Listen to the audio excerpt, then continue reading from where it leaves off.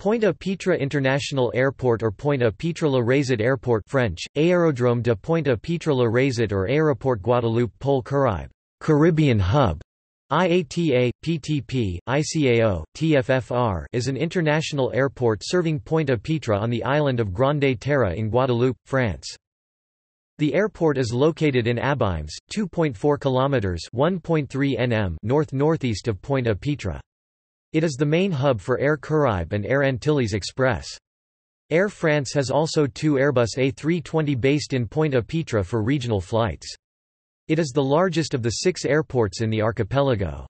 In 2015, the airport handled 2,089,763 passengers. It is the second busiest airport in the Lesser Antilles after Queen Beatrix International Airport located in Aruba, and before Grantley Adams International Airport located in Barbados.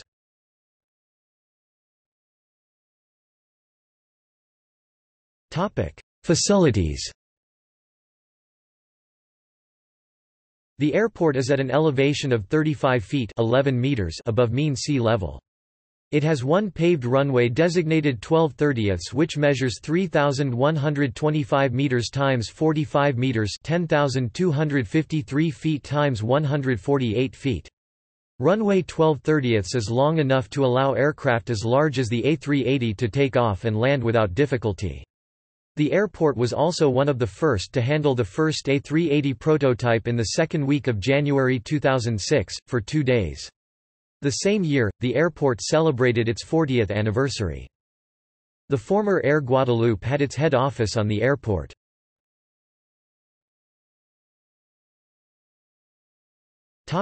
Airlines and destinations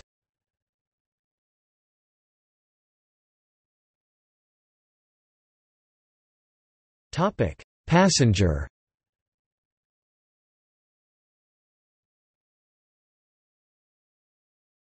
Topic: Cargo.